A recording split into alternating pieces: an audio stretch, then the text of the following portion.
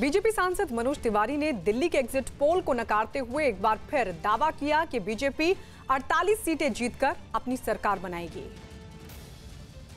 दिल्ली में चुनाव खत्म हो चुका है, अब इंतज़ार है रिज़ल्ट का, लेकिन रिज़ल्ट और चुनाव खत्म होने के बीच जो वक्त है, उसमें नेता अपने अपने तरीके से दिन बिता रहे हैं। वोटिंग की अगली सुबह मनोज तिवारी एक्सरसाइज करते हुए नज़र आए। मनोज जी एक्सरसाइज कर रहे हैं लेकिन एग्जिट पोल के जो नतीजे आ रहे हैं उसे देख के थकान और बढ़ गई या?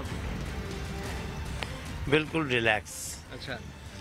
बिल्कुल रिलैक्स क्योंकि एग्जिट पोल तीन बजे तक का है। और हमारे पास साढ़े सात बजे तक का सर्वे है।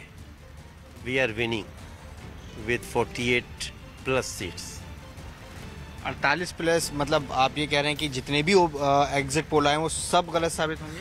हाँ बस आए ही कितने हैं? सब दो तीन ठो है। अच्छा। हाँ दो तीन है। और वो सब तीन साढ़े तीन बजे तक के हैं।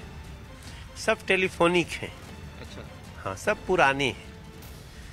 तो वो जब आया तो पहले भी जब सर्वे आए थे तो वो कुछ आपके फेवर में भी आए थे वो सही साबित हुए थे इस बार गलत क्या हुए? नहीं हम सर्वे ही तीन बजे तक आए। तीन बजे तक ठीक नहीं था।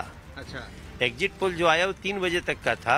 आखिरी तीन घंटे में आखिरी जो तीन घंटे में हुआ है और जो भीड़ लगी रही साढ़े सात बजे तक अच्छा। वो सब भारतीय जनता पार्टी के पक्ष में है।